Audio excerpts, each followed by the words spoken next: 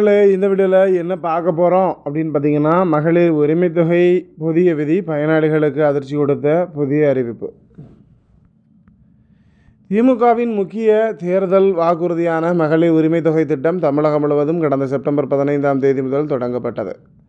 இந்த திட்டத்தின் மூலம் ஒன்று புள்ளி பூஜ்ஜியம் ஆறு அதாவது ஒரு கோடியே ஆறு லட்சத்தி நாற்பத்தெட்டாயிரத்தி நானூற்றி ஆறு மகளிர்கள் பயன்பெறும் பயன்பெற்று வருகிறார்கள். இந்த திட்டத்தில் விடுபட்டவர்கள் தங்களது பெயர்களை சேர்க்க முறையீடு செய்யவும் கள்ளக்கெடு விதிக்கிருந்தது. காலக்கெடு விதித்திருந்தது. இதன்படி இந்த மாதம் கூடுதலாக ஐயாயிரத்தி நாற்பத்தி ஒரு பேர் இந்த திட்டத்தின் கீழ் சேர்க்கப்பட்டுள்ளனர்.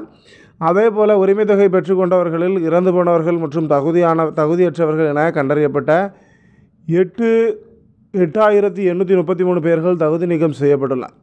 இந்த நிலையில் மகளிர் உரிமைத்தொகை பெறுபவர்கள் தொடர்பான மாதந்தோறும் ஆய்வு செய்யப்படும் என தெரிவிக்கப்பட்டுள்ளது.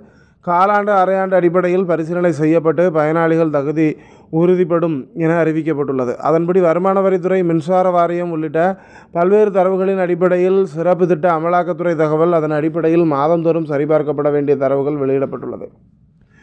இறப்பு பதிவு ஒருங்கிணைந்த நிதி மற்றும் மனிதவள மே மேலாண்மை தரவு மற்றும் பொதுத்துறை நிறுவனங்கள் உள்ளாட்சி அமைப்புகள் வாரியங்களின் பணியாற்று ப பணியாளர்கள் பற்றிய தரவுகள் சமூக பாதுகாப்பு திட்ட ஓய்வூதிய தரவுகள் அமைப்பு சாரா தொழிலாளர் நலவாரிய ஓய்வு வருமானச் சான்று ஒரு வருமான சான்று கனரக வாகன பதிவு செய்யப்பட்ட தரவுகள் ஆய்வு செய்யப்படும்.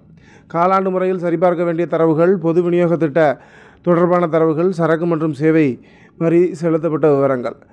நில உடைமை தொடர்பான தகவல் தளங்கள் அரையாண்டு முறையில் சரிபார்க்கப்பட வேண்டிய தரவுகள். தொழில் வரி செலுத்தப்பட்ட தரவுகள் ப்ரொஃபஷனல் டேக்ஸ் மின்சார பயன்பாட்டு தரவுகள் ஆண்டுதோறும் சரிபார்க்கப்பட வேண்டிய தரவுகள். வருமான வரி செலுத்தப்பட்ட தரவுகள் வருமான வரி குறித்த தரவுகள் தகவல்கள் அடங்கிய தரவுகள் பராமரிக்கும் அரசு துறைகள் தொழில்நுட்ப தொடர்பு வழியாக நிகழ் நேரத்தில் அல்லது உரிய காலமுறையில் தகவல்கள் தரவுகள் கலைஞர் மகளிர் உரிமைத்திட்ட இணையதளத்திற்கு பகிர்ந்தளிக்க ஆணையிட்ட ஆணையிடப்படுகிறது. இத்தகவல்கள் அடிப்படையில் கலைஞர் மகளிர் உரிமை திட்ட பயனாளிகள் பட்டியலை இணையதளத்தில் தானாக புதுப்பிக்க வேண்டும். ஆட்டோனிவல் தானாக புதுப்பிக்கப்படுதல் மூலமாக நீக்க செய்யப்படும் பயனாளிகளுக்கு குறுஞ்செய்தி மூலம் தகவல் அனுப்பி வைக்கப்படும். இது குறித்து பயனாளிகள் முறையீடு செய்ய விரும்பினால் இணையதளம் மூலம் மேல்முறையீடு செய்யலாம் என தெரிவிக்கப்பட்டுள்ளது.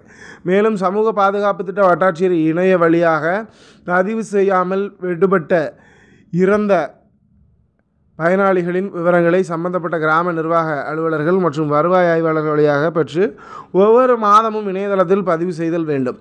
சமூக பாதுகாப்பு திட்ட வட்டாட்சியர் நீக்கம் செய்யப்பட வேண்டிய பயனாளிகளின் பட்டியலினை இணையதளம் வழியாக பிரதி மாதம் இரண்டாம் தேதிக்குள் சமூக பாதுகாப்பு திட்ட ஆணையருக்கு அனுப்பி வைக்க வேண்டும் எனவும் கேட்டுக்கொள்ளப்பட்டுள்ளது நன்றி நண்பர்களே இந்த வீடியோ பிடிச்சிருந்தால் லைக் பண்ணுங்கள் நம்ம சேனலை மறக்காமல் சப்ஸ்கிரைப் பண்ணுங்கள் தேங்க்ஸ் ஃபார் வாட்சிங்